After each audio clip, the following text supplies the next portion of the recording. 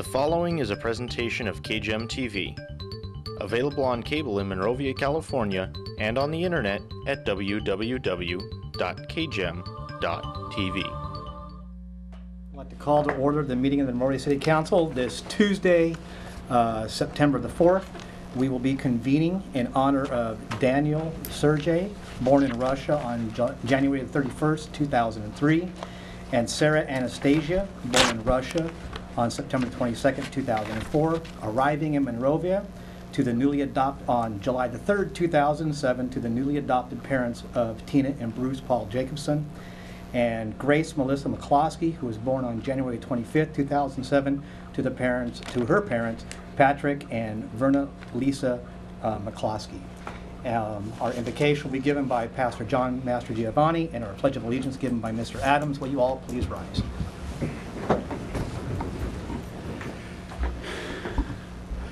Good evening, Monrovia. Let's bow our heads in prayer. Dear God, we come before you right now, and we want to thank you so much for how you've been guiding us over these last several years in our city. We thank you for the wonderful things that have been going on here. God, I ask you to bless our city council right now. I ask you to give them wisdom, insight, knowledge, and ability in you to continue to care for Monrovia and continue to plan its future. God, I lift up our city manager, our fire department, the fire chief, police department, our police chief. We ask, Lord, that you keep them safe as they continue to keep us safe. Lord, we lift up our school district with all its teachers, faculty, and supporting staff. And God, I also ask you right now, we'll take about 15 seconds as we send our thoughts and prayers toward our men and women in uniform overseas in Iraq, Afghanistan, and abroad.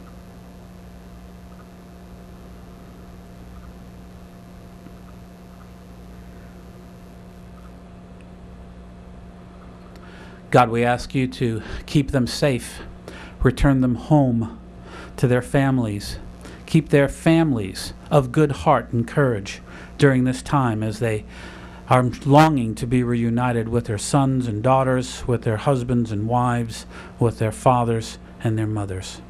God, we want to thank you again for this evening, and we ask you that you pour yourself out upon us as you give us what you have for our city, Monrovia. In your name I pray. Amen. Amen.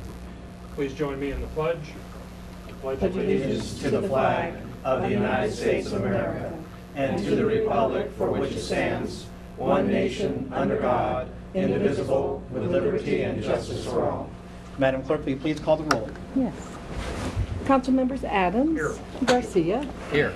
Lutz. Present. Mayor Pro Tem Kirby. Here. And Mayor Hammond. Here. Up first, we have Captain Jim Hunt, who is here to make the community introduction to some very nice people.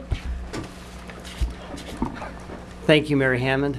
Thank you, Council. It's my privilege this evening to introduce the four newest members of the Police Department to you. Beginning on your right and working to the left, first I'd like to introduce Rhonda Reynolds. Rhonda came to us from the city of Glendora, and she's our new Animal Control Officer. And uh, we're getting a wealth of experience with Rhonda. She's our first Animal Control Officer, by the way. And uh, she's had 15 years of experience with the city of Glendora in animal control prior to coming here. And uh, in 2004, she left Glendora to start uh, a business venture with a partner where they started their own animal hospital in uh, Oakhurst, California. And she recently sold her uh, shares of that business venture and is coming back here. And we were fortunate enough to uh, uh, find her and hire her as our first animal control officer, which will be a great resource for us because we've got a great deal of experience with Rhonda here. I'd like you to introduce you to her. Next, I'd like to introduce Alex Galindo, one of our new police officers. Alex uh, was born in Guadalajara, Mexico, and came to the U.S. when he was seven years old, along with his family. And he's now a U.S. citizen and uh, is fluent in both Spanish and English, which is a big plus for us here. Uh, he attended Bassett High School, growing up in the city of La Puente, and graduated in 1993. For the last 10 years, he's worked for Our Ranch Markets uh, in Irwindale, where he's worked as a loss prevention officer and uh, as a warehouse and transportation manager. His hobbies include playing baseball, and he also has a private pilot's license and uh, loves to fly in his spare time. Uh, he put himself through the Rio Hondo Police Academy and graduated last week, and we managed to uh, snatch him up and hire him for our police department. He lives in uh, Upland with his girlfriend Luce, and they have two children, Natalie and Nathan. So I'd like you to introduce Alex Galindo to you.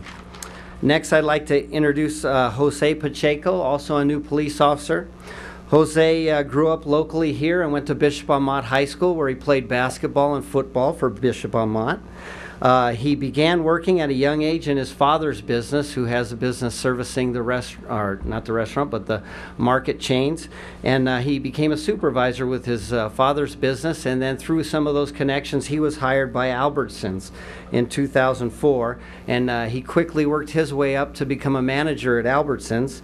Uh, but his uh, goal in life was to get into law enforcement and a career in law enforcement, so he put himself through Rio Hondo Academy, graduated about a month ago, and uh, we were fortunate to hire um, Jose, and uh, he's in field training right now with uh, one of our agents. I'd like you to welcome Jose Pacheco. And last, I'd like to introduce Bonnie Paredes Flores.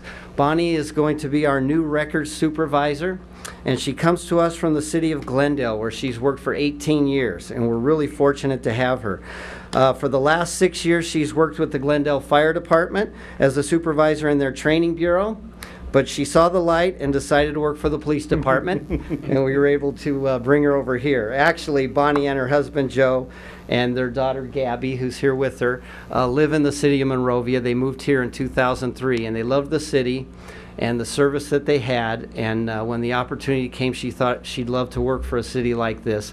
And uh, so she's applied and, and been selected, and will begin work next week with us uh, as our police services supervisor. And she's uh, uh, working on her BA in public administration. So I'd like to introduce all four of them to you, and we're really fortunate to have every one of them. Well, Rhonda, uh, Alex, Jose, and Bonnie, uh, welcome. We hope that your tenure here at the City of Monrovia is prosperous to you.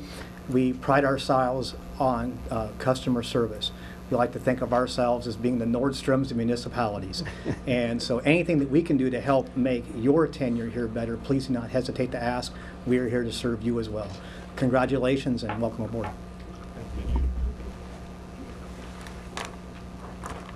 And thank you for coming too, Gabby.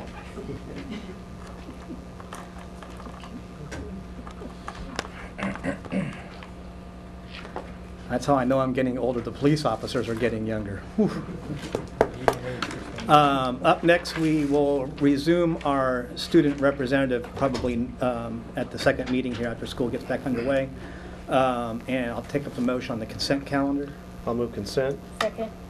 There's a motion and a second. I will abstain because I was absent From the minutes? from the minutes. Um, Motion, a second discussion without objection, so ordered. Up next, we have um, public input. This is the time that the council has set aside that the community can speak about any item that's not on the agenda. Simply fill out a cor- card or come forward and you shall be heard. I have two speakers. The first one, uh, Judy Gomez, Monrovia.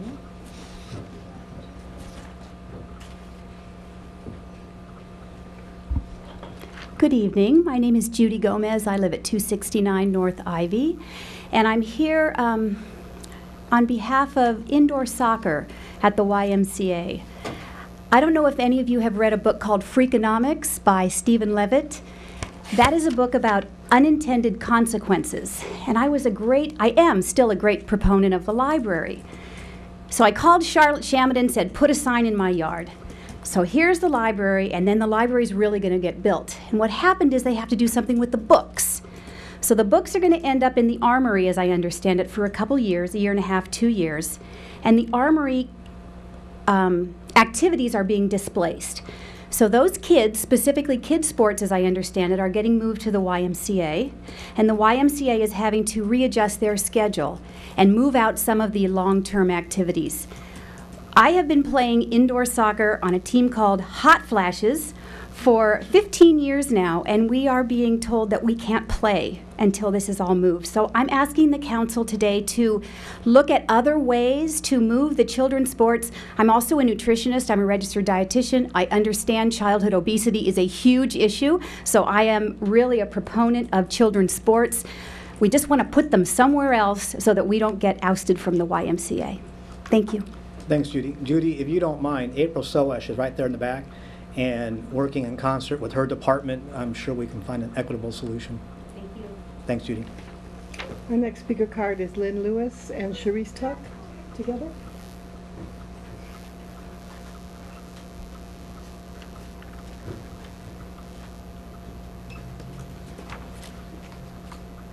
Hi, my name is Lynn Lewis. I live at 543 Bradbury Road, Monrovia. My name is Sharice Tuck. I live at 705 Oakdale Avenue.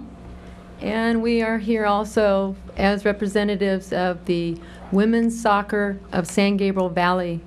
And um, it is a fairly large organization. We have 1,500 players, 170 of which play at the YMCA Fridays and Wednesday nights, both men and women, for ages from 30 or actually even younger, 18 on up to 60 year old women playing soccer. We've been playing there for 15 years at the YMCA.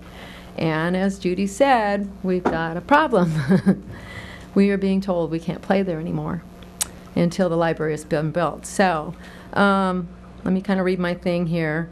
Um, we are currently using the gym facilities at the YMCA, and we've had a wonderful relationship with them for over 15 years. Many of the players have been members of the Y. We have our kids there while we play soccer.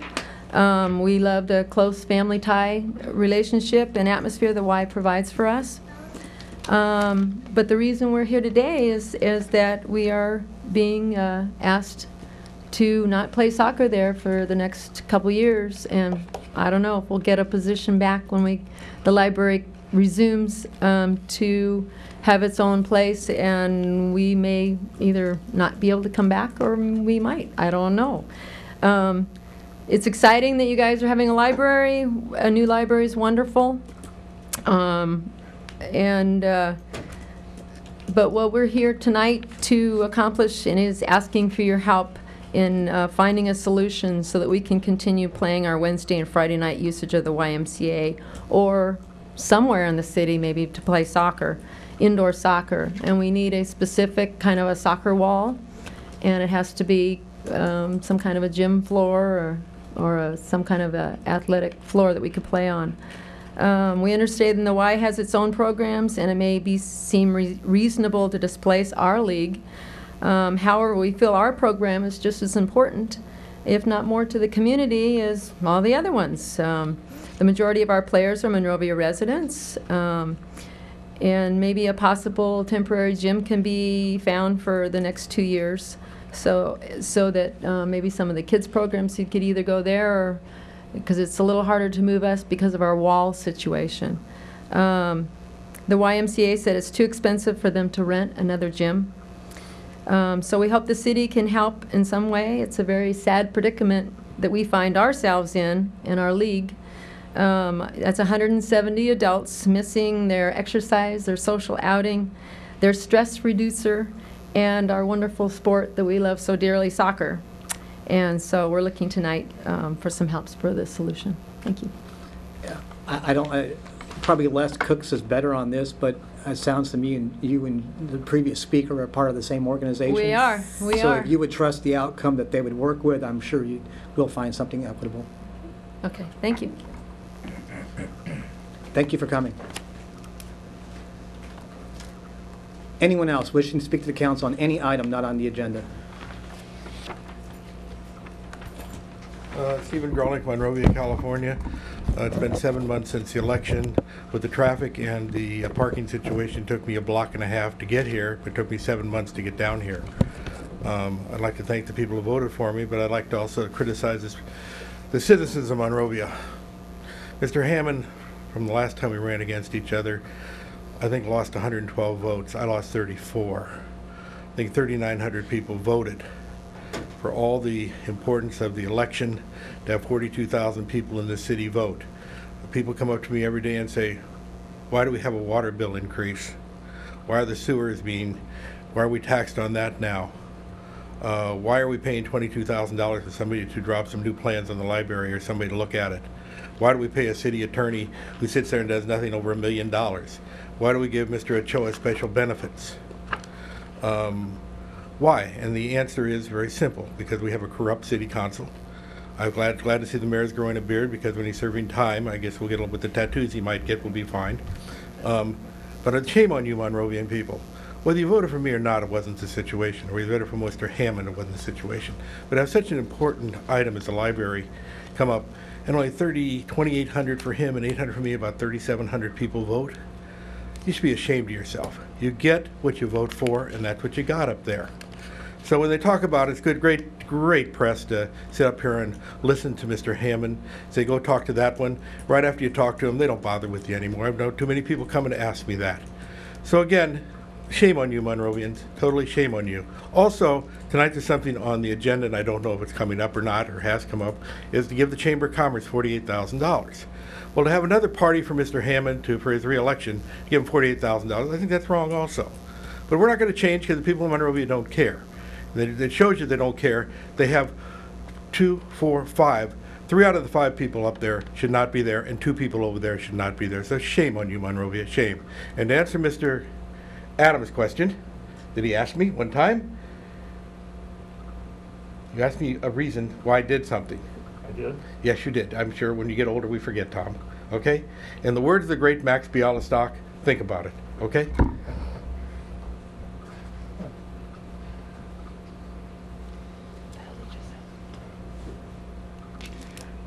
Well, Comedy Central. Um, Anyone else wishing to speak to the council on any item not on the agenda?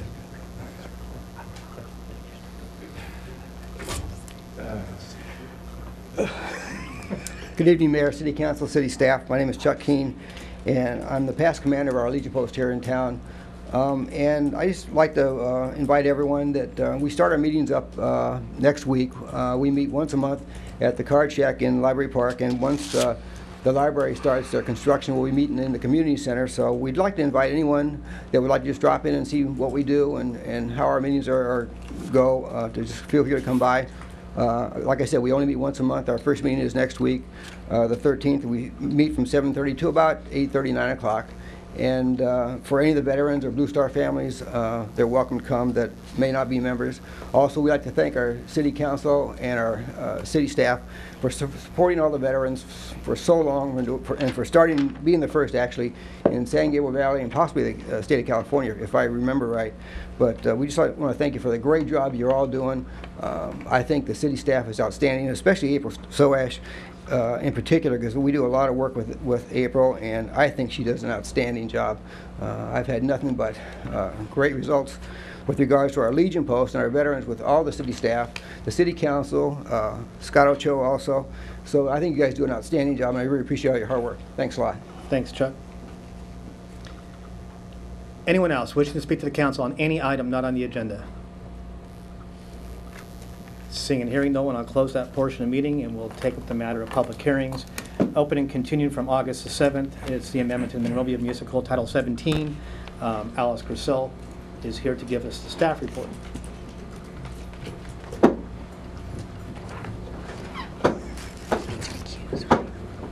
He needs to recuse. Oh, yeah. I guess because this is Old Town, um, and where my business is, I have to recuse myself from this. And Mr. Kirby, if you'll take over. Thank you. And Mary Ann? myself as Yes. well, for the exact same reason. All right, thank you. We'll uh, move ahead with uh, public hearing number one, which was uh, open and continued to the last meeting. And um, Director of Community Development, Alice Grissel, will give the staff report. Thank you, Mayor Pro Tem Kirby and council members. On August 15, 2007, the Planning Commission reviewed the changes to the zoning title of the MMC regarding permitted uses allowed in the commercial and industrial zones in the city. At their meeting, the owner of Fashion Cuts at 198 South Myrtle Avenue spoke in favor of the changes to the uses in Old Town, but wanted to make sure he could upgrade his business with air conditioning and other improvements. He was assured that this would be possible. No one else spoke in and no one spoke in opposition. The Planning Commission did vote three to one to approve the resolution recommending approval of the changes to the City Council. The balance and coordination of uses in the downtown is important for the vitality and continued uh, economic prosperity of Old Town. The Old Town is defined first by Myrtle Avenue, um, and Exhibit A does um, show Myrtle Avenue and the HCD zoning in the orange. It's flanked on either side by a variety of zoning. You see the zoning um, in yellow, and that's the uh, PQP, which is park, the park, city facilities, and parking lots. Um, The resi- residential high density is in the pink, and the plan development area is in the blue. The general plan does define the downtown core, which is in orange, and the PD, which is in blue, as follows. The um, Myrtle Avenue, or the Historic Commercial Downtown Land Use Classification, is intended for application to the city's downtown shopping area along Myrtle Avenue between Olive and Foothill Boulevard. One of the main purposes of this designation is to um, allow the preservation of the historic role of our commercial downtown. Uh, Well-designed pedestrian-oriented commercial uses such as small shops, banks, restaurants are permitted on the ground floor. Office use is allowed on the second floor. Large undivided single-owner buildings can also be reviewed for the possibility of office. The planned development area, which are those areas that I showed adjacent to the downtown. Um, This area has historically been the commercial core of the city. However, there's a substantial number of residential units in this area. This area can support a variety of uses, but the uses should be related to Myrtle Avenue and be of a quality in keeping with the Old Town. Um, Again, a pedestrian-oriented atmosphere shall be maintained and encourage businesses such as restaurants, specialty retail um, that support the Myrtle Avenue um, commercial core.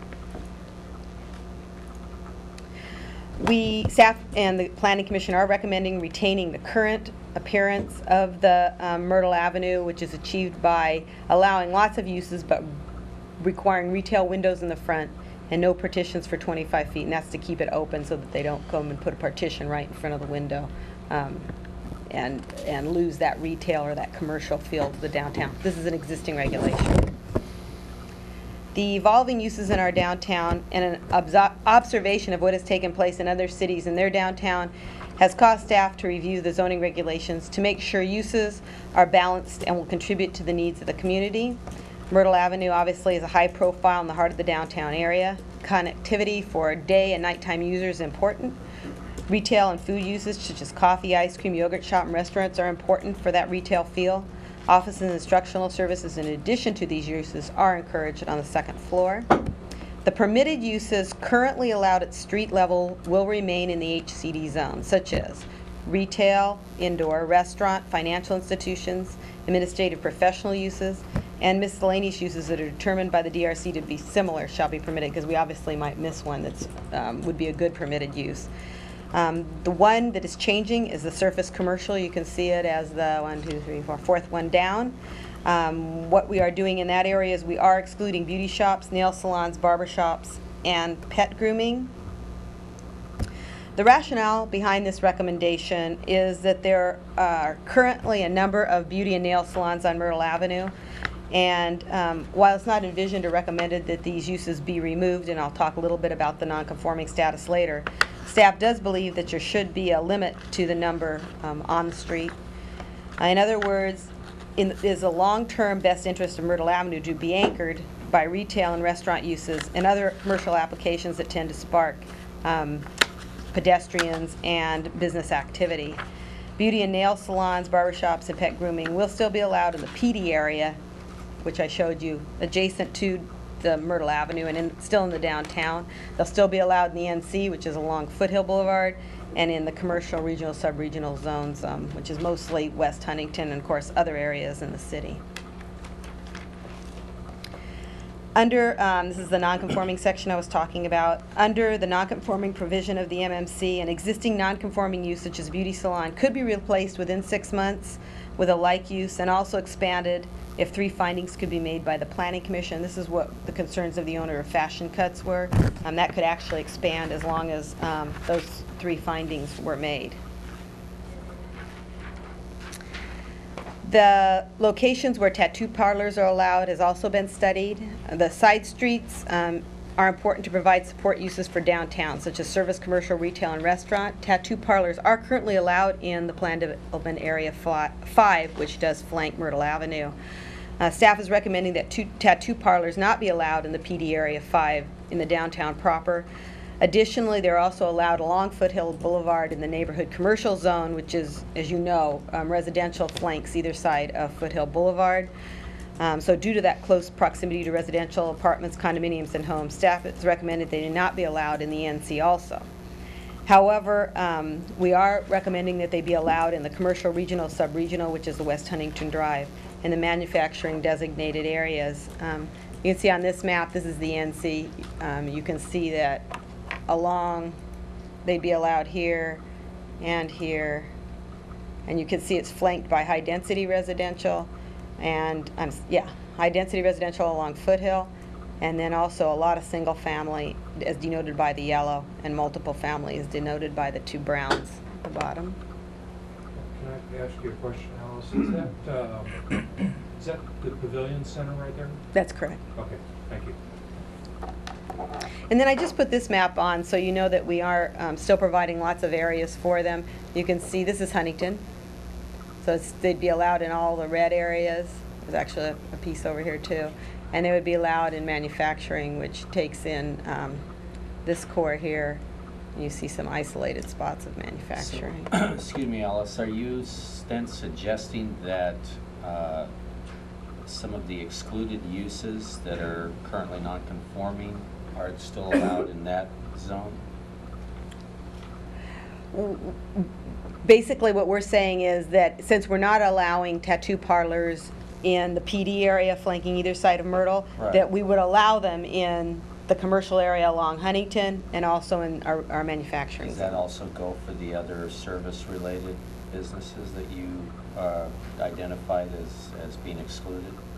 Um, For the, for, I guess I'm not understanding the question, but in the. In com- other words, service commercial, okay, that you point out as uh, some of the excluded ones, like beauty salons, nail salons, uh, those that are, that are, now have been, I guess, uh, identified as, as being excluded in the HCD zone, are you going to allow them there?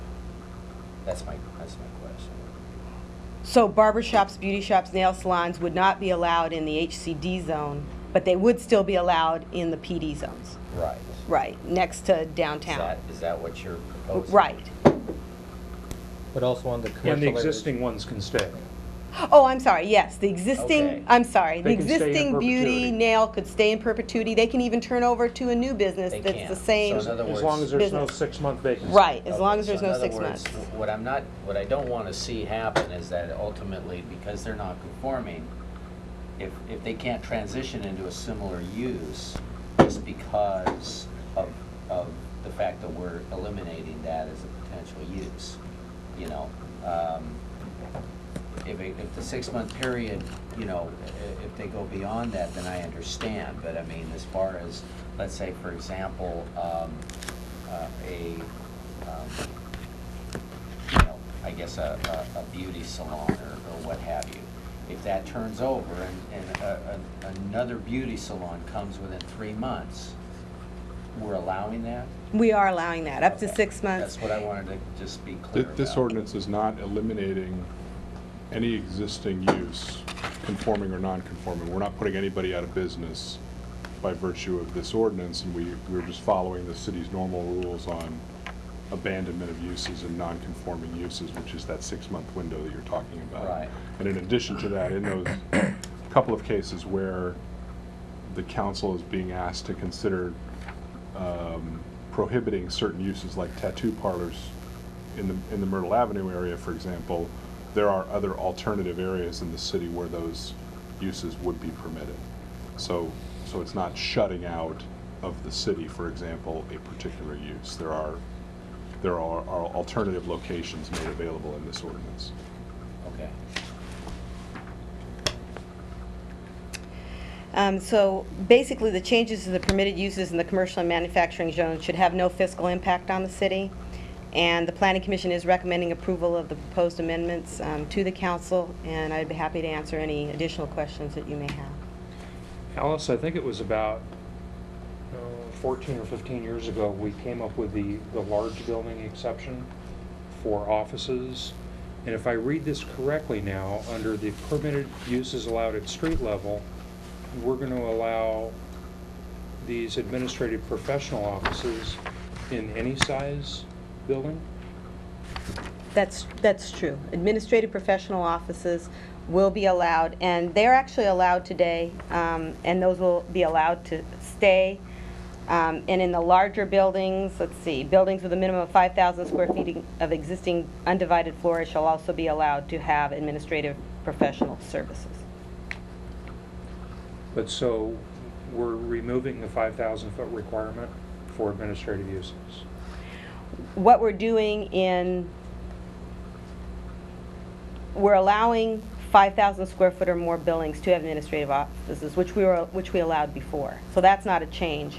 What we are doing is eliminating dance and aerobic studios from being allowed in 5,000 square foot buildings. That's, but that's not what this, unless I'm misreading it, this specifically says the permitted uses allowed at street level in the HCD zone are recommended as follows. Administrative slash professional uses, insurance agents, real estate offices, etc. But there's no square footage requirement. And I know there used to be, so this report, and I haven't read the ordinance, but it would seem like the report is throwing out the 5,000 square foot threshold, and I think that would be a mistake if that's the case. Um, Actually, if you look on page two of the ordinance at the bottom, you see C, buildings with a minimum of 5,000 square feet in- of existing undivided floor area, the following uses shall be allowed. One, administrative professional services, and two, athletic clubs, health spas. So those will still be allowed in buildings over 5,000 square. Over five. Correct. Okay, so then that just But I- didn't make it into the report then? Well, but I, th- I think just to be, just to be clear, um, the, the version the planning commission reviewed has certain specified administrative and professional uses in subdivision B. Yes. Alex, that's right above that, there's some, some very specific administrative uses that are allowed in any size building. And then in the five thousand square foot or more buildings, there are any administrative or professional use allowed. That's on page two of the ordinance. Um, it, for, so basically, the following administrative professional uses, this can be allowed at ground level, any size building in the HCD, and actually second floor, are insurance agents, real estate offices, employment agencies, legal services, travel agencies, income tax preparation, and ticket sales offices. And then the next section, you go on to the Is the that the larger ordinance buildings. or the staff report? That's the That ordinance. is the ordinance. Um, Second page, B s- five. And C one. Yeah, let's see.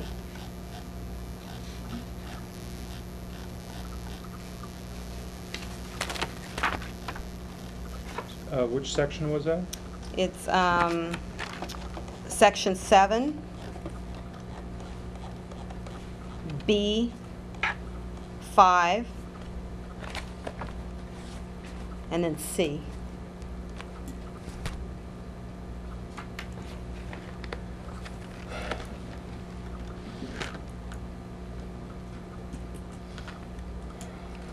It still doesn't make any sense. Um,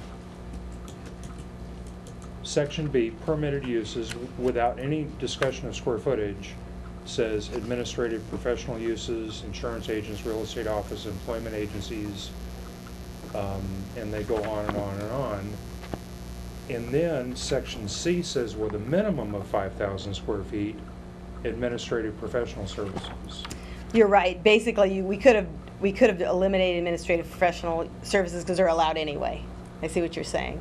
Well, But, and so you probably should just say athletic clubs and house Okay, so then back to my first question. It would appear from this as though we're eliminating the 5,000 square foot requirement for insurance agents, real estate offices, employment agencies that was put into play 14 or 15 years ago, if I remember correctly. Well, they're still allowed. They were allowed, they're allowed today and they're allowed, they're still allowed. But I- I think unless something changed and and I wasn't paying attention, I think they're allowed today in 5,000 square feet or more. And this is changing it to be allowed in any size building. What's the, what's the current ordinance say? Today, they are allowed. In any They- size building? They're allowed in any size building as long as they are back 25 feet and they have windows. And, let's So, see. so there is a restriction today. Correct. It is not going to be in the new ordinance. Well, you're not changing that restriction with this ordinance. Yeah, no, That's a that separate restriction will section. still be there too. Well, Oh, but that's not This what this restriction. says. This says, in the following, in the HCD zone, only the following use types shall be allowed at street level. Insurance agents, real estate offices, The- employment agencies. It doesn't say that they have to be twenty-five feet back, Sub subsection A, right above it, right? requires retail wi- windows, a front window view corridor consistent with retail nature. And the next one says, front 25 foot is the building partition wall. I think those are the limitations that Alice is talking about. Which has nothing to do with use, it has everything to do with the building. Right. Right. And I'll, I'll go back to my first question. I thought fourteen years ago, what we did was restrict that these uses could not be in less than five thousand square feet. Could- No, they still could have been. We allowed, um, Really? we allowed administrative professional uses anywhere on the ground floor, as long as you had retail windows and no partitions for 25 feet.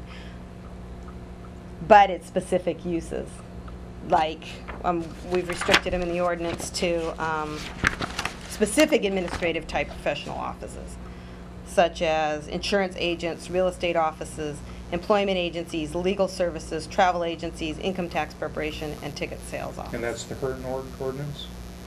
Or is that the proposed? That's, that's the proposed, it's a little complicated. The original was, this is what the original was. The following administrative professional uses, insurance carriers, insurance agents, real estate offices, and then in parentheses, agents appraiser, advertising services, secretarial services, employment services, legal services, attorneys, accounting, auditing, bookkeeping, travel agencies, income tax preparation, and ticket sales offices.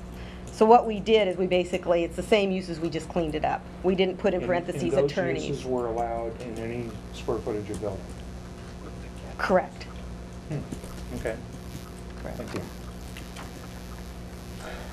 Alice, um, let me ask you a question, and I'm just trying to understand, I guess, uh, and again, going back maybe what Tom was saying in terms of, from the historical perspective, as far as how the city zone particular uses, such as administrative type uses. Um, You know, and again, I mean, help me to understand, how does allowing particular uses such as um, tax preparation services, that sort of thing, promote the pedestrian uh, oriented vitality of the downtown? Especially when we're considering essentially an 18-hour day, okay, where you're promoting pedestrian traffic and half of those businesses are closed after five o'clock. I think really what we're focusing on there is business that attracts other business and that generates other business. Going to see the attorney, going to see the tax preparer. Is, is there an ancillary business benefit to the, the folks next door to uh, the cafe, the coffee shop, uh, other things that you would find in the traditional type of downtown? Okay. Uh, folks coming downtown to do business, as it were. But, but we're only talking about promoting that vitality during a day period. We're not talking about a supportive role that's going to, to hopefully expand the downtown vitality into an 18-hour, a pedestrian-oriented use. We're- We're talking about businesses that will contribute to what is there today and what we're building with the resident, the residential uses that are going in tomorrow. And so if we look at, again, an an attorney or uh, a travel agency or other businesses that will feed off one another that have some benefit to the folks that are kind of cross-pollinating through the downtown, we see that as something that's beneficial. Some businesses will support other businesses. Not everybody is going to be the category killer type of retailer, uh, you know, Williams Sonoma, Barnes and Noble. We're not going to get every one of the uh, every one of the vacancies uh, that arise over the coming years to be refilled with uh, somebody like that. There will be some uh, businesses that are in support of other business.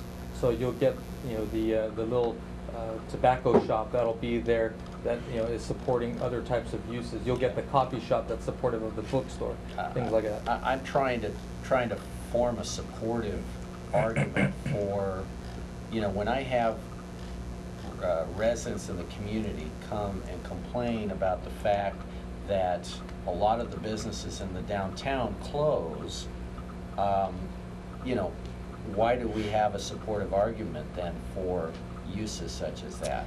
And Well- I guess you're explaining it, but, you know, it, it, it's real difficult to convey that uh, when you see half of these businesses are shut down at five o'clock. But I think, again, what we're looking at here with this, with this ordinance that's being proposed is to look at, the specifically to that very point, nail salons, barber shops, boutiques, which are not only closing at five and six o'clock, but a lot of times are closed on Sunday and Monday.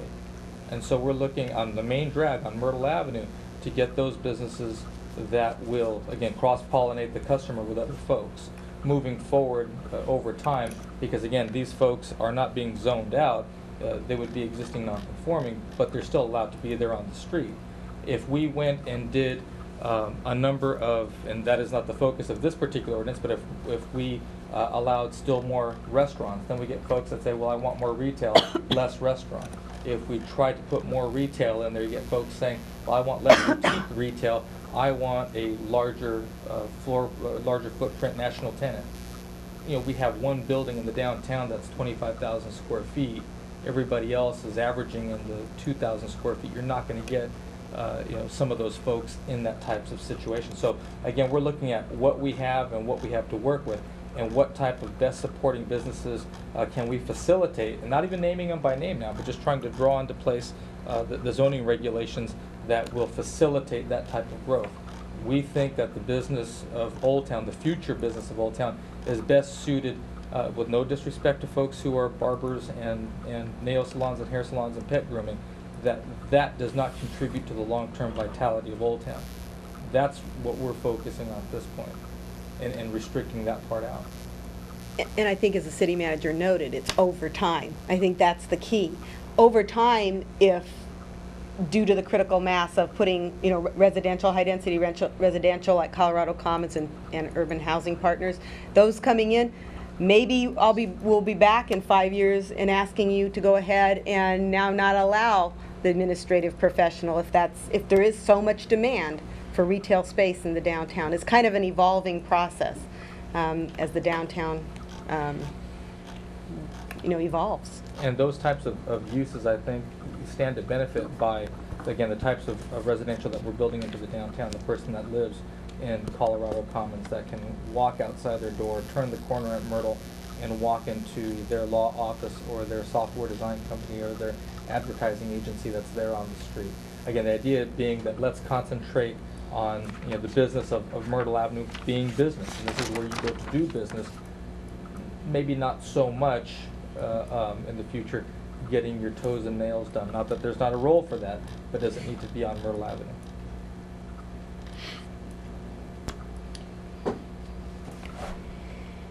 Any other questions of staff? No, thank you. This is a public hearing. Um, We'll start with anyone wishing to speak against this change in the uh, zoning. Anyone here wishing to speak in favor of the change? Uh, Seeing and hearing no one will close the public hearing and we'll entertain a motion. I move with, that we determine that there is no possible significant effect directly related to the adoption of the ordinance and no further action required under CEQA and introduce, waive further reading and read by title only ordinance number 2007-14. Second. The motion is second. Any more discussion amongst ourselves? Um, Roll call, please. Councilmembers Garcia, Yes. Evans, Yes. and Mayor Pro Tem Kirby. Yes, thank you. I think you need to read it. Mayor Pro Tem, that's Go ahead, ordinance number 2007-14, an ordinance of the City Council of the City of Monrovia, California, amending Title 17 zoning of the Monrovia Municipal Code pertaining to permitted uses in the commercial and industrial zones. Very good.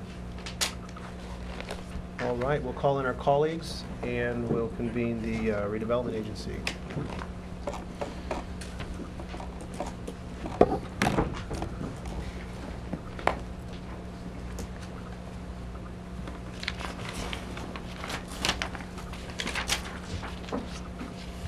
Like to convene the Monrovia Redevelopment Agency meeting without adjourning the city council meeting, and we'll take up the roll call.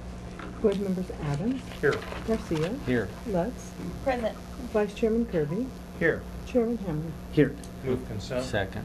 I'll abstain. Uh, Motion is second, and discussion. Without objection, so ordered. Up first, we have an MRA PH1, a joint public hearing disposition development agreement with 820 South Magnolia Avenue LLC, a California limited liability company, and Mr. Kevin O'Brien, our redevelopment division manager, is here to get a staff report.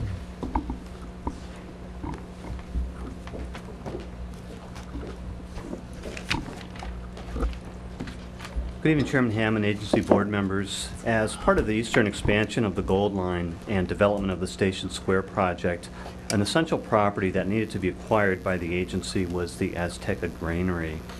Last November, the board authorized this acquisition, and as part of that uh, transaction, the seller, Azteca Corporation, required that the agency also acquire property, that real property that it owned at 820 South Magnolia. Both sites were acquired with the goal being to sell the Magnolia property after removing the improvements, which were in very poor condition. We also sought to recoup as high a resale value, price for the, the property as we could, as was possible. During the course of marketing, marketing the, the site, it was determined that a beneficial reuse of the property would be for the development of individually owned condominium units, um, similar to the Hamby Park project, which is located just to the north of the historic depot. Because this complex lies in the heart of Station Square, we will, in most probability, be coming to the council, ask, to the agency board, asking authorization to acquire that site. If that is granted, we will be obligated then to provide relocation assistance to the 28 separate units that are in the park.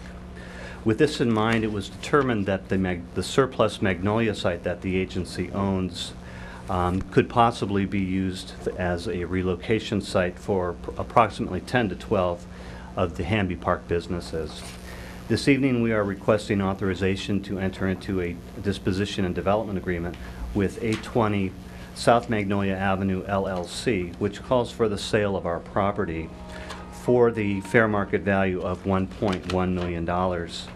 As part of the deal, the developer would commit to um, offer the units to Hamby Park residents at a, um, at a discounted rate um, of $250 per square foot of improvements, improvement values. We feel market rate for improved condominium units is probably somewhere around $350 a square foot. The units would be offered to sale for the general public only in the event that the Hamby Park um, project were- was not sufficiently interested to fill the entire um, Magnolia project.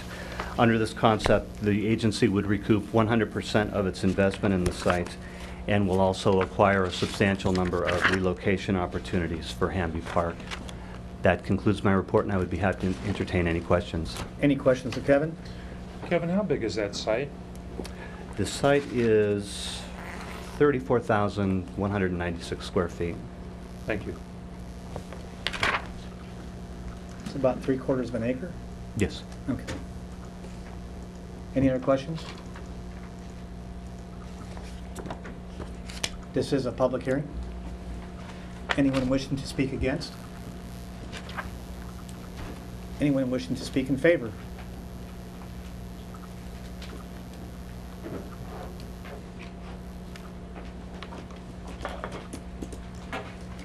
Good evening, Mr. Mayor, members of the City Council. My name is Gail Littlejohn. I am a partner in the 820 South Magnolia LLC. I'd be happy to answer any questions that you might have of me. Any questions for Gail? Thank you, Gail. Thank you. Anyone else wishing to speak in favor? Seeing and hearing no one, I'll close the public hearing. And Mr. Ochoa?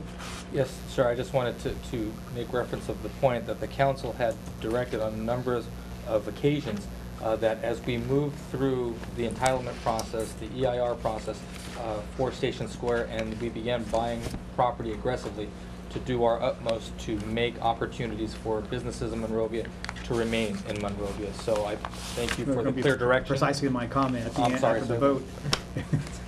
But, um, entertain a motion. I move we adopt resolution 2007-50 and agency resolution number 11-2007. Second.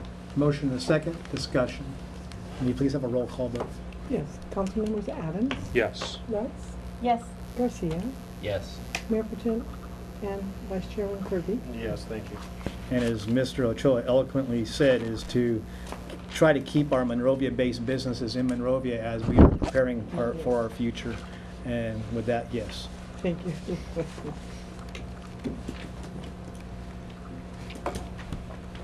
Up next, we have MRA AR2. It's a uh, authorization to amend Old Town Business Development Assistance Program, and because of the location of my business, Did one? You skipped one. did I just miss again?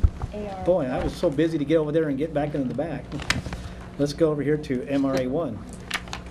It's an authorization to acquire real property located at seven fourteen South California. And Mr. O'Brien is here again. I get to stay for this one.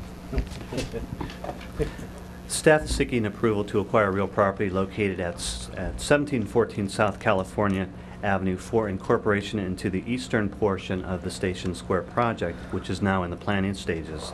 The site, which is just over 82,000 square feet, will be acquired from Food Makers LLC. To date, the agency has acquired one other major site in this area, which is commonly known as the Food Makers site. The Food Maker, I'm, I'm sorry, the uh, Suida site. Um, As depicted on the, the map, Suida is the, the larger property in blue, and the, the subject for this evening is the Food Makers in the, um, the green on the, on the board. Under the proposed agreement, the agency would, agency would pay $5.1 million, which is the appraised value of the, of the property. Um, And uh, the property will be del- delivered vacant um, to the agency in April 2008. Consequently, we'll- we will have no relocation obligations as part of this transaction. Acquiring the site will allow us to square off this corner and will increase, significantly increase the utility and development potential of the entire um, uh, property that we have there. Of the $5.1 million purchase price, the agency will pay $2.1 million at the close of escrow and deliver a note to the seller in the amount of $3 million. The note will be fully amortized for five years, uh, carrying a 7% interest rate, and may be re- prepaid at any time without penalty.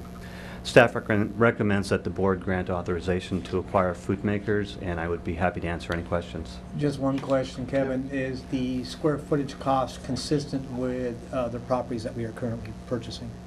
Well, not entirely. Um, The suite of property, um, we acquired that about, we put that under contract about 18 months ago, and that came in at about $38 a square foot. The Food Makers parcel is coming in significantly higher than that. Um, So I questioned the appraiser pretty at length about that, and he was, actually did not think that the, the value had changed significantly for, for the Suida property, or had not risen that much, but that the, the value of the improvements were such that this was a significantly higher um, purchase price, and also the improvements or the, um, the street location. It fronts on 300 feet of California and about 200 feet of Duarte Road, which really gave that a a significantly higher premium over the, the Suita property. But I think pending the environmental review, that if a project were to materialize on this site under the Station Square concept, the fact that we were able to secure Suita at 38, and hopefully we'll be able to deliver a project or deliver a site to market, a clear site, uh, hopefully will get us closer, much closer to the food makers per square foot price than the Suita per square foot price. Uh, That 18 months of holding that property and committing to that purchase price has served us well and has proved to be a prescient investment at this point. Now, if we took that same investment dollar and moved it a quarter of a mile to the west, i- how is that in line with where the dollars are looking? This particular property is, is very similarly priced to the properties that we've been picking up over on the west side. So, i- and and specifically for the folks at home, between, um, uh, gee, between Magnolia and Myrtle Avenue, the price is a little bit higher because it's anticipated that is all phase one and ready to go. At the train station at Myrtle Avenue, yes, there is a marginal increase in value because of, of what that land is and where it is located. There is no off-ramp at California, but it is a lot of frontage on California, which is a major arterial. And so why it's a little higher than this, why it's a significantly higher than Suita, it still falls in line currently what it is that we're acquiring in pieces of property The right Me now. property, the Ching property, the other properties that are there along Pomona that we've been able to acquire, yes. So we're okay? Yes, sir. And, and how much is this per foot? This is $62 a foot. And we just sold property at 32 a foot? Uh, At 32, but it had a restriction that, that it could only be reused wi- at a um, discounted rate, where the the developer was agreeing to a lower reuse value. And is that, um, let me see, is that DEC there? Or what used to be? Yes. Yeah. Okay. Yes. Kevin? And this is, 3M, pardon? the uh, 3M property? The- Okay, yeah, Minnesota thank Mining. you. Kevin, I had Not a used to looking from the sky down.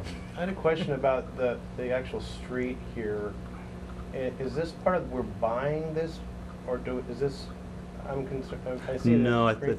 Is that just a, a color mix-up? Just a little overlap on the. A little- ground. yeah. Okay, because it made, I didn't think that we're, Stay in the box. yeah. But if I remember correctly, isn't this an old railroad It is, spur? it is a It spur goes there. up there. And is that, I mean, is the railroad abandoning that right away? The easement and, and right-of-way that's there, it's funny, the city attorney and I have been talking about this all week in terms of understanding what, I think, I believe it's BNSF that has that, um, understanding what their rights are and making sure that that is now abandoned because by buying the Azteca milling property, which you just approved the There's no sale more of half freight. it, there is no more freight there. But, but legally, and, and maybe this is best for Craig, even though from a practical standpoint, there's no more freight, is that still their right of way? Well, we still, we still have to re- um, research that question. Okay. This particular little spur doesn't show up in the title reports on either one of the Oh, really? properties. So um, we're still kind of trying to figure out what that means. And, and if it does pop up at some point, can we condemn that if necessary? If necessary. Okay, thank you. It may be, a lot, a lot of spurs are not uh, actual railroad right-of-way. They are fee Belong prop, to fee the properties warehouse. subject to, subject to a license agreement. So Okay. at most, there might be a license agreement and not actually an easement or, or Okay. some fee title. Thank you. Kevin, what is this property right here? That's a, a- privately owned parcel. We're having that appraised. um, uh, Right now, we ex- expect to get that appraisal back um, in the next week or so, and would, we'll be coming back to you for an, uh, a request to hopefully uh, acquire that property. We have not initiated extensive discussions with the owner at this point. And Kevin, um, I read in the report that the food makers would, would be, no, I have no, would be vacant. That's correct. Delivered to us, and it's our intention to have it remain vacant till we do something with it? Yes.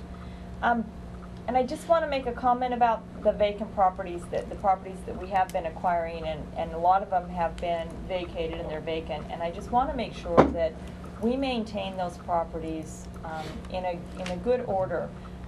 Some that I've noticed throughout our city that are vacant, waiting, um, the Neff building, for example, which we don't as a city own, but they stopped watering their lawn, and it's looking very terrible. I do not want us, as a city, to fall un- under that realm at all, so I just, We've been, actually, as the properties become vacant, sometimes we allow the owners to stay a little bit longer to accommodate their, their move.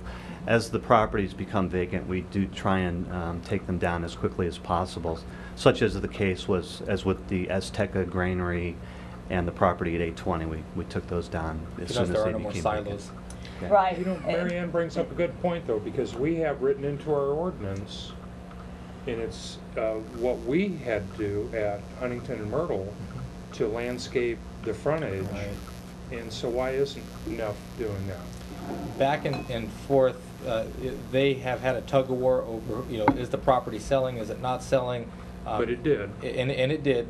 Uh, Well, it, it did from Neff to Barrett, and now Right. apparently Barrett is looking to try and sell it one more time. They're still responsible. They, they are responsible, but I think it's one of those things where I'm, it's not gonna be mine for very much longer, and so you start to take a lax attitude towards the, the maintenance of it. Thus, we have our code enforcement folks and the business license officer on a regular basis, uh, you know, just kind of wringing their neck a bit. Um, when it came down to like, for Fourth of July, for example, uh, actually had them go back out there, turn on their, their water service again and maintain that water, bring back the grass. It looks as though at this point that that grass terrible. is not coming back. And so we are working with them even in real time to say uh, that they need to do something with that, even if it is just a temporary fix. But you're right, you look at our property uh, that's awaiting reinvestment uh, uh, at the corner of Myrtle and Huntington, and it looks much, much better because it has a nice green berm around the side of it. We did that You with know- uh, the old Ladybug Junction, and we'll Well, enforce it that's there. a, that's a requirement. Yes, sir. Yeah, and then, and I'm not sure if this is a, a legal issue or not, but if we were to, uh, basically impose our own, our own crews to landscape that property, and then basically, uh, push the cost on whoever ultimately buys that, I mean, is that a legal, um, thing that we can do? If that's a motion, it can be. We would have to um, first go through the public nuisance process, notice, have a hearing as to whether a nuisance exists, give them the opportunity to, to um, do the work themselves, and then actually do the work with the city crew. So it would be a kind of a lengthy period We're, of time. we're but already sort of in that process if, if Just staff is notice. already working with them, but, And- yeah. uh, and, and I, one of the things that brought this to mind was this morning as I, and I drove to see all of these lots, I, you know, I think it's in my mind, but I always drive by to see it before the council meeting. I drove by California and Shamrock, and that property which was acquired, and it will be, um, south, the south, or Duarte and, and California. California, Mhm. Duarte and California, that has been acquired and will be developed, it needs some attention. Part of the reason we took that down was because it was an eyesore. It needs attention. It's, so I, I just want to make sure that we're always cognizant of those when it becomes ours. So You mean the southeast corner? Mhm. Yeah, I hate to, th- and Mary Well- Ann's right, I hate to She think that in our quest right. to Well, let's do this. redevelop, And You're right. that we create blight Right. in our own, Under Mary Ann's uh, portion of the council in two weeks, we get an update on where we are so we can take action if we needed to take action on it. On We could do an urgency. those, on, on those two, particularly Yeah. those two sites that I Yeah. pointed out Get an update But, and but I have- think I'd like us to have kind of a, to have somebody go and evaluate all the properties that we've been acquiring and, and So look at you them okay? all. Yeah, I think that's Okay. a great idea. It is. And that way we can take action on it because it'll be on the agenda. well, on- on that note, I would move that we adopt resolution 12-2007, authorizing the acquisition of real property located at seventeen fourteen South California Avenue from Food Makers Equipment Sales and Service LLC in the amount of five million one hundred thousand dollars. Second? Motion and a second. Discussion? May we please have a roll call? Council members Garcia, Yes. Adams, Yes. Lutz, Yes. Vice Chairman Kirby, Yes. Chairman Hammond. Yes. What's that? No. Um, Up next, we have MRA AR2, authorization to amend Old Town Business Development Assistance Program. And because of the proximity of my business, I have to recuse myself. For the exact same reason, different business, I will recuse myself as well. Mr. Kirby, thank you so much. Two Doing the same thing. Get some stuff done now. All right, our next item is authorization to amend the Old Town Business Development Assistance Program. And uh, steady on her feet in a warm day is uh, Mrs. Darlene Sanchez. Speaking of days, when is the day? October 3rd. Right around the corner. You don't have to remind us on that. No. She does it every. Hey now. All right, Darlene. Thank you. Good evening, agency board members. Nearly two years ago, the agency board author approved the Old Town Business Development Assistance Program, which provided a matching grant to existing Old Town merchants to expand or and/or make improvements to their business. During the last two years, staff has had the opportunity to evaluate the pilot years of the program and found the program to lack a business attraction element. Over the last few months, staff has conducted a regional city survey and invited input from Old Town merchants and the brokerage community. The following is a culmination of this research and is now being presented for your review. Rather than only providing a program for existing business development, staff is proposing a three-pronged approach that would consist of business development, business attraction, and a broker incentive com- component. The program for existing businesses would remain the same as a matching grant program, in which the agency would grant 50% of the cost of the merchant's proposed business expansion program in an amount not to exceed 25000 under the amended program, new Old Town businesses that meet certain criteria would also be eligible for a matching grant, whereby the redevelopment agency would pay for the business's city permit and entitlement fees up to a maximum of $35,000. The matching component is derived from the fact that the applicant cannot push the project forward unless the applicant is spending money on the entitlement process, the associated soft costs, and any professional fees. The enhancements to the property would trigger an increase in the property tax dollars being paid to the city, as well as the sales tax revenues that would be generated by the new business activity. The third and final component of this program would be a collaboration with the brokerage community to attract the city's preferred users into the downtown district. Under this program, a qualified real estate broker who can recruit a city-preferred business profile into the Old Town District would pay, be paid a $1,000 bounty. Uh, The recommended budget for the amended program is $120,000. Because it an- is anticipated that the participation demand would exceed available funding, a committee comprised of a cross-section of key city staff, referred to as the Red Team, would review the economic development proposals and make grants and loans under the terms and conditions described in this report. Grants would be allocated on a first-come, first-served basis. Uh, The proposed revisions to the program would now allow both new and existing businesses to receive funding based on their direct contribution to the economic vitality of the city. The previously approved program for existing businesses would not change and would only be augmented by the proposed changes to include new businesses and this broker incentive component. If the agency board concurs, the appropriate motion is included in the staff report. And this concludes my report. I'd be more than ha- happy to answer any questions you may have. Move approval? Second. Great staff report, by the way. Thank you. And you're the only one that heard that tonight. That's because Tito's not here. It's a gift. Um, I have a question, uh, Scott, and it has to do with, um, this is an amendment to our existing Old Town Development Program, and I I know that we, um, I think the participation was a little slow, uh, to say, to say the least, in our last program. Um, I'm really not into symbolic things. I really want something to work if I'm going to approve money for it. And um, I I- I guess I'm asking, um, what, um, what, what makes this so much more uh, workable than the last program that we, that we did, that would attract more investment uh, from our merchants and taking us up on this, on this program?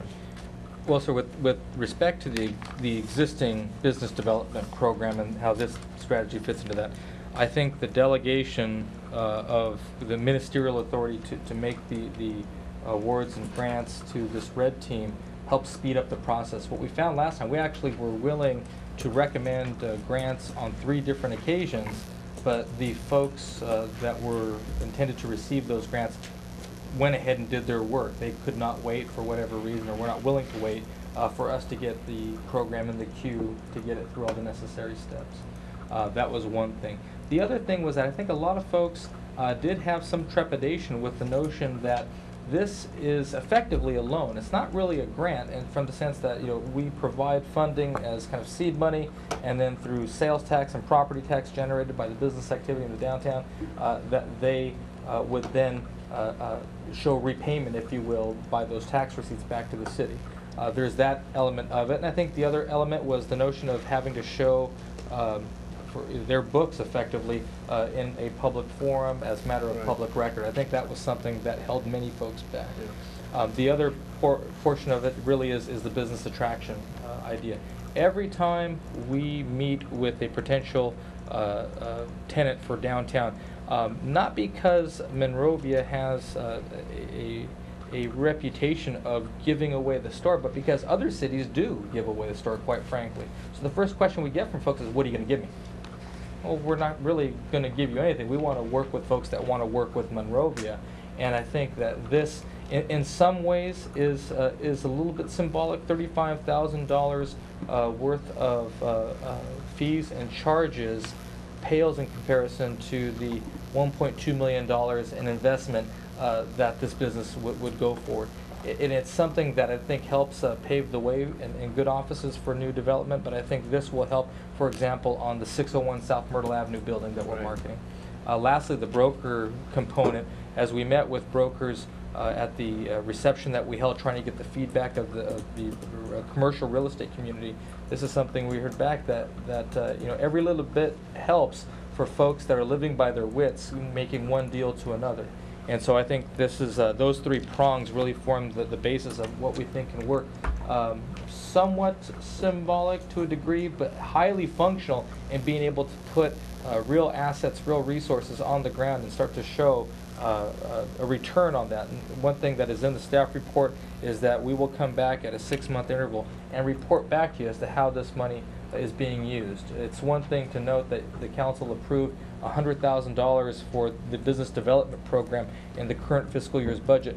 We haven't had a whole lot of folks beating down the door despite the fact that we put the information out there. Right. Augmenting it, talking about the broker bounty, talking about the business attraction, I think we'll do much better because success tracks other success. Okay, and let's say that um, uh, business A applies and for, for maybe one or many reasons, uh, their business plan isn't solid enough to assure us that their growth will be such that they can pay back, the you know, the amount, and they feel they've been mistreated, will they appeal to us? They can appeal, the city council remains the appeal body. Okay. Um, Um, I'd be, I think it would be a good idea if there was no fee for that appeal, only because it takes the politics out of it. I don't want to be, this to be a political thing. Um, If they felt mistreated by the staff and they wanted to appeal to us, I don't know that it would be fair to charge them a fee to appeal it. Um, Would that? No, if that's the concurrence of the board, what we can do, part of the motion, the delegation of authority requires us to actually present back to you a resolution that reflects that. Okay. And we can have that if that's, Would that seem fair to you? Well, I think, um, although I don't want uh, to see us charge anything that would be punishing, but there is the old adage that if it's free, it has no value. And I think i- if we ask for something from people, uh, they'll be m- perhaps a little more cautious in stepping forward with their challenge. Um, A nominal fee that I isn't think. prohibitive. What is the fee to- for, Um, um, for a, um, a planning commission appeal? Planning Commission, if you appeal the decision and you are upheld by the appeal body, I think the fee is waived. That's correct. I believe so. Refunded, yeah. Would you like to go something in that direction? Well, I think it's good. I mean, if. Yeah, I if- think that'd be more the way to go. If it's, if the appeal is upheld, I think it should be waived. Right. I'm not sure that, to me, this doesn't rise to the level of a planning commission hearing. Right. Um, This is perhaps a step below DRC. I don't think we actually even have a specific fee on the books now, so we I would don't have think to we do. establish something. If we bring part of back the different resolution. ideas and as part of the resolution, something that, that is, is uh, noteworthy but not cost prohibitive? Yeah, Yeah. I, I think. Yeah, That I'm, makes I'm with. Dan, I don't wanna hurt anybody, but Right, again, but I think you're if- right- you're right, If you Tom. make it too simple. Right. Okay. And- It's more- And in simple. essence, Scott, what you're suggesting is that the ministerial oversight is essentially delegated to staff as Yes, sir. opposed to having it come back to the agency board. On a case-by-case basis, yes. Yeah, because, I mean, I'm, I'm all for fast tracking the process. It seems like in the past, we've hums- hamstrung the process just by the sheer nature of, you know, timing in terms of getting, you know, from point A to point B. So Time is money. You're I right. just assume. And perhaps the speediness of it will have more value than the cost. There you go. I hope I so. would I think that's probably right in line with, with what the thinking is. And, and just, you know, for the edification of the group, th- this team that we're talking about is, is the city attorney, myself, uh, the redevelopment division manager, uh, finance director, and, and where needed on more substantial uh, uh, requests would be our associates at Keyser Marston who do all of our uh, financial documentation and, and uh, pro forma costing. Well, there's a motion and a second. Let's uh, have a roll call. vote. Hi. Board members Garcia, Yes. Adams, Yes. and Vice Chairman Curtis. Yes. We will um, proceed with our colleagues, and we will adjourn as soon as they come back in. And move back to the council meeting. Did you reconvene? Need to uh, adjourn the meeting. We reconvene the Monrovia City Council meeting. Take up the matter of council member reports and Mr. Garcia.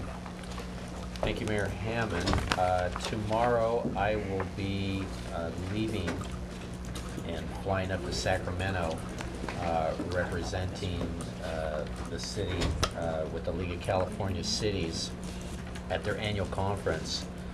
Um, Besides having quite an extensive amount of sessions and discussion forums that, that they will be uh, offering to the delegation, uh, I have uh, been honored to chair the um, Housing, Community, and Economic Development Policy Committee for the last two years for the league. And I will be chairing a uh, resolution that's going to be presented to that policy committee at the General Resolutions Committee. Uh, As well, uh, I have been asked to uh, sit as a, uh, the moderator uh, for a, um, a session uh, that's called the Homeless Crisis, uh, Innovative Ideas to End and Prevent Homelessness. And there are three very noteworthy uh, speakers that will be speaking on this subject. And so um, I'm going to have my hands full this week. But again, I'll be representing uh, the city with this. Thank you. Thank you, Joe. Um, Mary Ann? Thank you, Mayor Hammond. Um, I just have two quick things to report. On August 19th, I attended along with Mayor Hammond and City Manager Scott Ochoa the uh, 10th Annual Awards for the Shiloh Zion Church. And they give awards to um, members of the community who have given um, in service to the community. We had two members of our city staff honored that day. One of them was Dan, Dan McConnell from our Community Development Department, and he was honored primarily for the work that he does with our Monrovia Assistance Program. And also City, City Manager Scott Ochoa was honored as well. He was honored for all the work that he has done for all these many years in assistance to the community. So I congratulate both of them, and it was um, a great afternoon and great to be there. And then um, it's back to school. Our kids are back to school, and we've um, we've started this the win the fall. I know it doesn't feel like it out there, but it is. We are in the middle of fall already.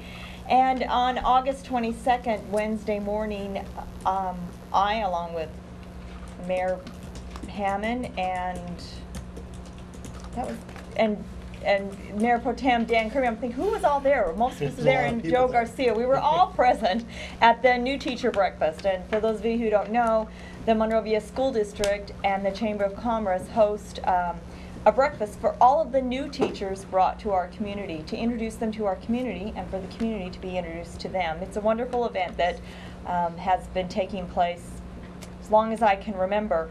Um, after the event and the teachers were introduced, I was asked to assist with a tour of the city of Monrovia. They then put all these new teachers on a bus and they tour them, give them a tour of the city, the schools, the, the whole environment, and they asked me to go along and talk about what was happening development-wise in our community and to tie that into what would be happening to the schools and, and, and in the community. So when these new teachers talk to the students, they have some knowledge about what was going on in the community. And that was um, uh, a very fun tour to help give um, some insight to our new members of our community, the teachers. And that's the end of my report. Thank you. Thank you.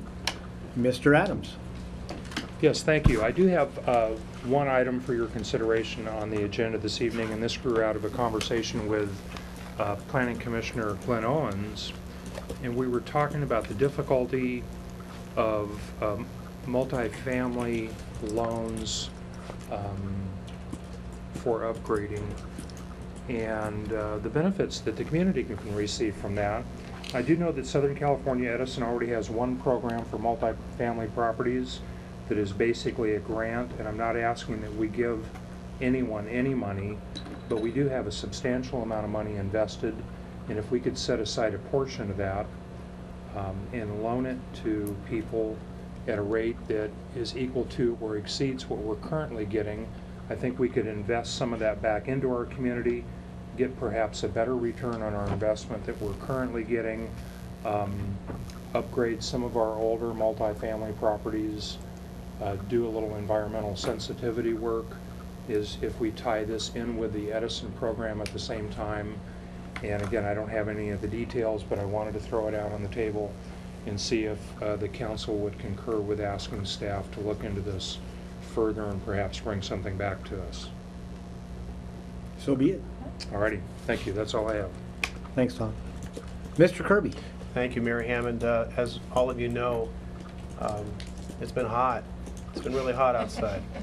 Um, I don't report. I'm, I uh, don't usually um, take my coat off, but it, it was hot in here when we first started. It's actually cooled off quite a bit since the meeting started. We had some problems with the air conditioning here in, in the city hall, in the city council chambers. Um, so I've asked once again um, our fire chief, Chris Donovan, to remind residents where they can get out of the heat in such extremely warm days. Chief?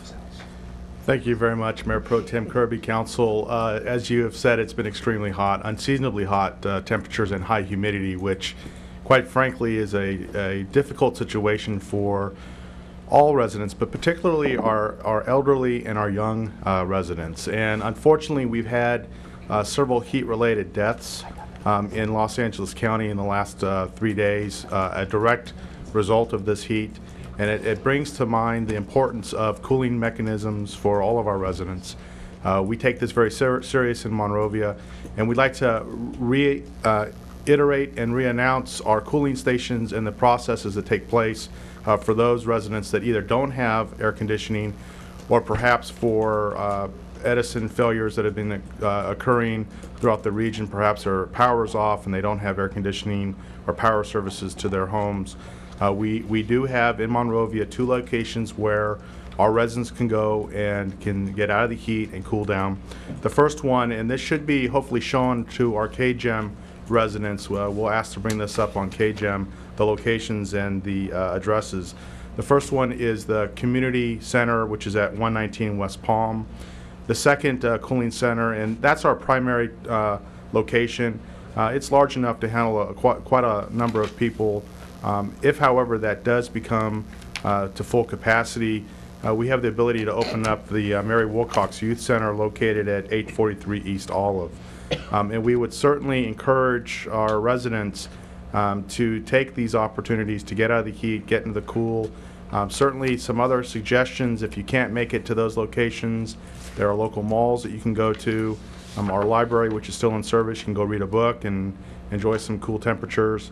Um, And uh, most importantly, uh, listen to those uh, heat index warnings, um, drink plenty of fluids, um, and if you're experiencing any difficulties with the heat, uh, dizziness, um, shortness of breath, anything related to your health, please don't hesitate to dial 911 and, and we'll gladly go out and rapid response and, and take care of any medical needs you may have. So thank you again for this opportunity.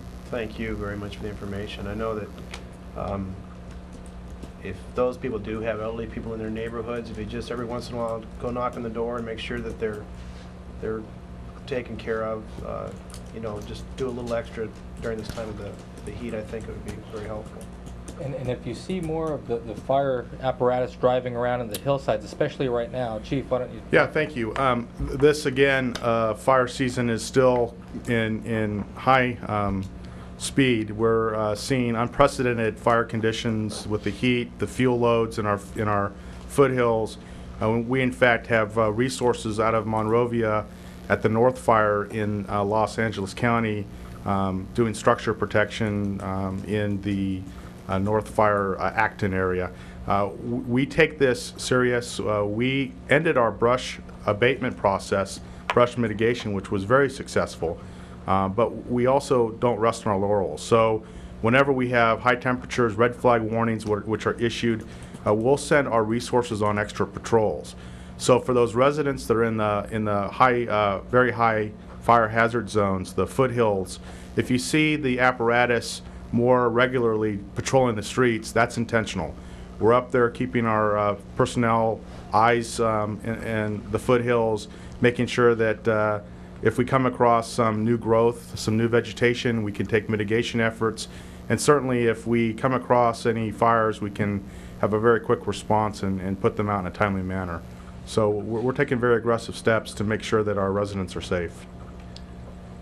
Dan, not, not to No uh, problem. piggyback on, on your report, but I, I did want to, uh, again, thank um, the chief and the fire department. I know there were a couple of incidents this weekend with the heat uh, where we had some power outages in certain parts of our neighborhood. I want to thank not only the fire department, but also uh, Southern California Edison for their rapid response.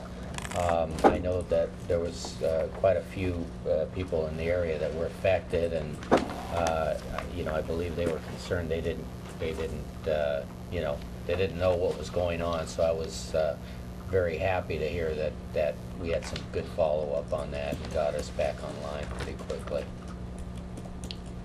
Thank you, thank you, Chief. Thank you. Thank you. Appreciate it a lot. Um, The the only second thing I has, uh, second thing I wanted to mention tonight is, um, uh, it is the back-to-school time, and the, the sun in the mornings is, is directly to the east, and it's very low in the sky, and it, um, just to, to remind you to drive slowly around the schools, uh, drive slowly on your way to work. Um, it, it is more difficult to see, um, particularly at this, this couple of weeks in the year. I've noticed, um, when I'm out in the mornings early that, uh, that sun has been so bright and it's right in your eyes and it, it, you just have to make extra effort to watch, uh, around crosswalks and schools because it's, uh, the vi- the visibility is really, really tough. So just some reminders, we want to keep our children safe. We want everyone to uh, have a successful school year and get off on the right foot. And uh, so um, hopefully we'll, um, we'll do that and we'll all be safe. Thank you. Thanks, Dan. Um, One thing, prior to the council meeting this evening, we had a special meeting uh, to uh, award our YES interns with certificates of completion for their summer employment. Um, I'd like to congratulate all of our YES interns. I'd like to thank the city council for its um, help and support on getting this job done. But most importantly, and uh, it could not have been done without our staff. And uh, so many times, people look at the government and say, you know, well, overpaid and underworked is usually the adage from some folks.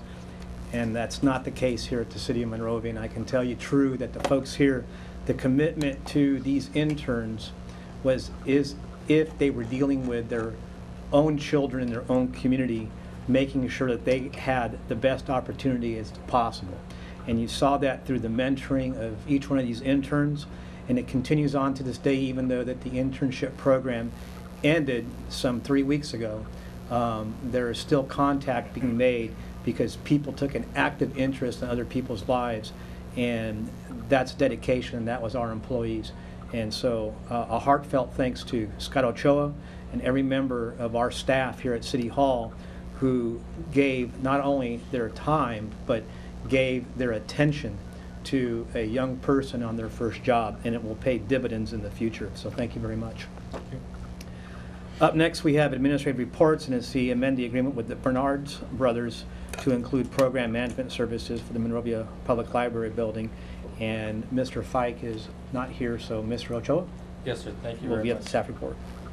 Members of the city council, thank you. Uh, See if this does work. It does work for me. Okay. Um, Three items with respect to, uh, to multi-prime uh, construction. Uh, What we are doing now uh, in the, uh, now the, the really advanced planning, or had done in the advanced planning stage of the library program, is to examine the way in which the construction would take place. We are anticipating beginning hard construction in December of '07 and commencing a 14-month uh, construction period. The goal is to be done by the spring of '09. We'll work all the way through 08 and then start in '09 for both the library building as well as the park master plan uh, and library park that surrounds uh, the, the library building. The margin for error, both in terms of cost and in terms of scheduling and scope of performance, uh, is, is very, very thin, but I, I'm confident that the staff can execute, and I think that we have the right team in place. Uh, a member of that team is Bernard Brothers. Uh, these are the folks that the council hired earlier this year uh, at, uh, I believe the contract was about fourteen, four hundred and eighteen thousand dollars uh, for project management of this project.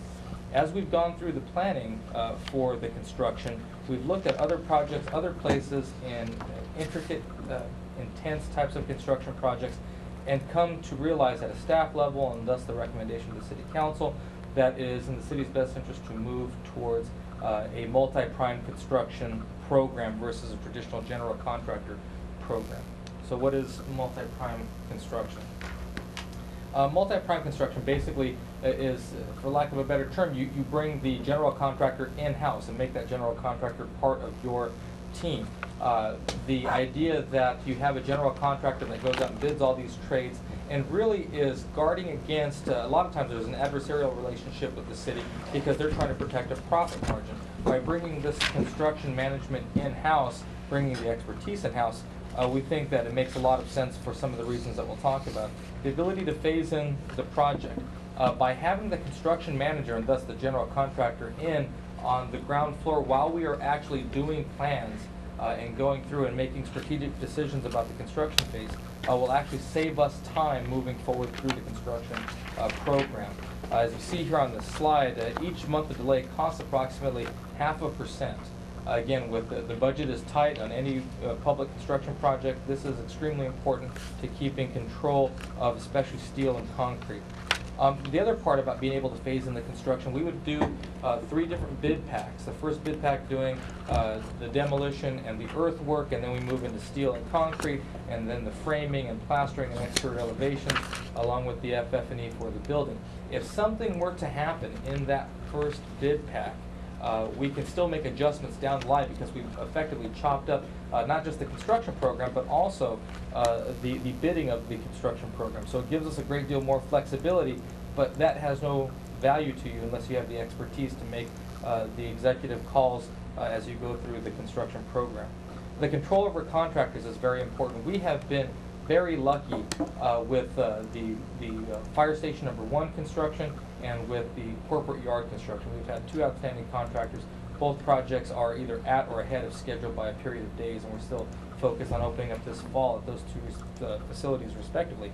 Conversely, we had a problem with our general contractor on the Myrtle Avenue Streetscape project, and trying to uh, get that contractor to work effectively with the subs uh, was like herding cats. We saw the same thing in the traditional general contractor format, for example, on Canyon Park.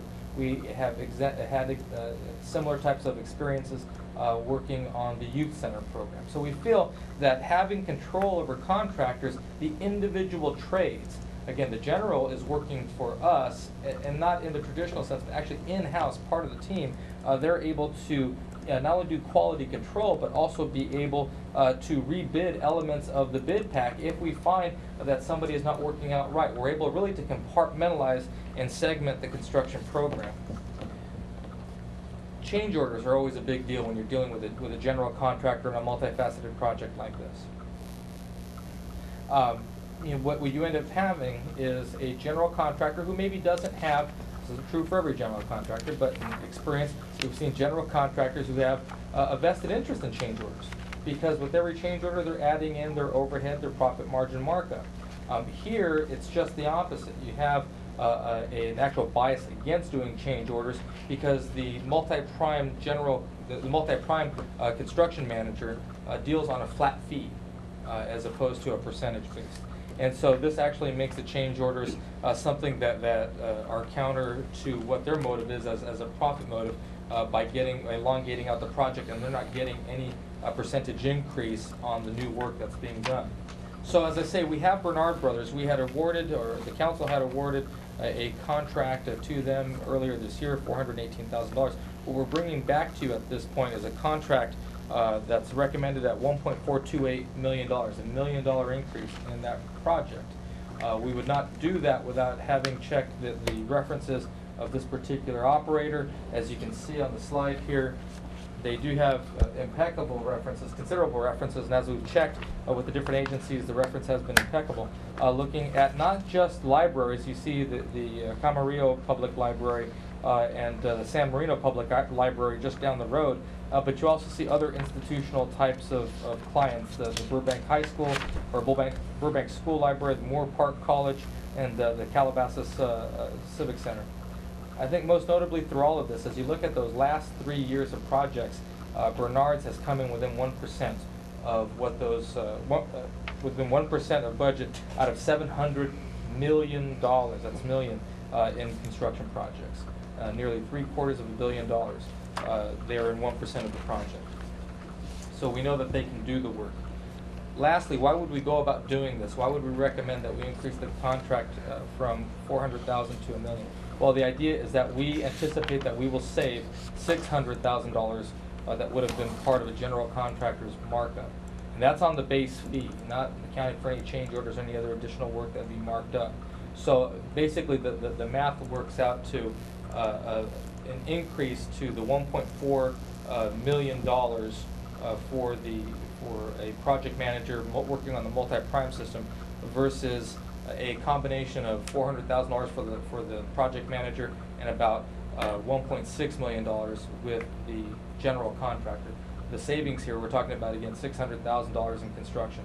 Uh, the idea that we can do less change orders, uh, get rid of, of the general contractor overhead, and actually phase in and streamline the construction schedule uh, makes this arrangement something that the staff would wholeheartedly recommend. Uh, the folks from Bernard Brothers are in the audience. I'm sure they can answer any questions that the council might have. That concludes my staff report. Any questions Scott? I, I, Scott, I have just one question, um, and I'm sure that you, along with staff, have considered um, the personality of the person you're going to be hiring, because for the next, oh, 18 months or so is going to be like um, having an in-law move in with you. Um, What is the feeling among staff members on that? It's, And, uh, uh, by the way, it's, it's an in-law that people don't know. Yeah. Steve, do you wanna come on up? Actually, I'm interested in our staff's In perspective. our staff's perspective, it's like, it's like living with a drill instructor. Uh, you have somebody who is focused, uh, on what the goal is, uh, on, they know what we are going to be holding them accountable for, uh, in terms of the construction schedule. They know, uh, vis-à-vis the construction that took place on Myrtle Avenue and what's going on in Colorado Commons, the good work that's being done by the Snyder Langston Group on Colorado Commons, what we expect in a job site. They know what we don't want, by virtue of having dealt with Pima. Uh, They have been able to observe the library construction committee in action and know what the high expectations are there and stand ready to deliver. Again, from a staff perspective, it is, it's a refreshing departure to move from a situation where we're lucky to get a good general contractor to being in a relationship with a project manager who is very willing to tell you the truth, very willing, not, almost too willing not to pull punches on some of these very tough items, uh, but at the same time, completely and totally is loyal to the goals of the city. And there is no divided loyalty for making their own profit margin. That is something that, quite honestly, looking back, uh, multi-prime works best in, in a larger type of project and more complex with many trades. Uh, and I think we could have used it on the, uh, on the streetscape project. But I look forward to using this style of, of contracting going forward in the future for other projects. Now, the 418,000 that was approved before, is that incorporated in the 1.4? It's adding $1 million to it? $1 million to it. So it's not 418 plus 1.4? That's correct. It's 428 plus a million?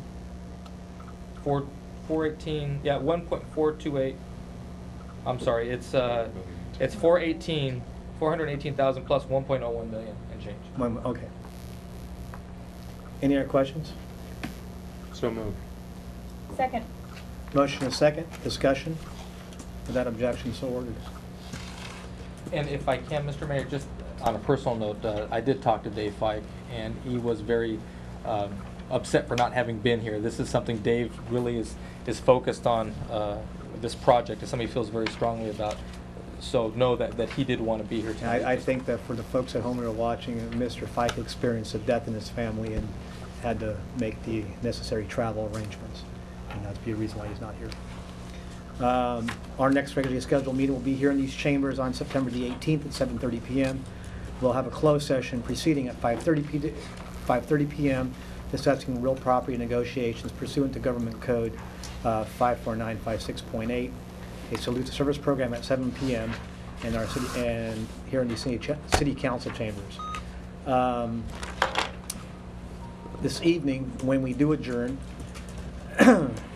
we'll be adjourning in memory of Nick Pokerjack, um, who was a good friend to many of us here. Um, And he was an all-around feisty guy, and boy, he, he was a character, and he's gonna be sorely missed, and, um, yeah. Uh, And then to Mr. uh, Jack Ray Collins, who is the brother of David Fike, who we spoke about a moment before.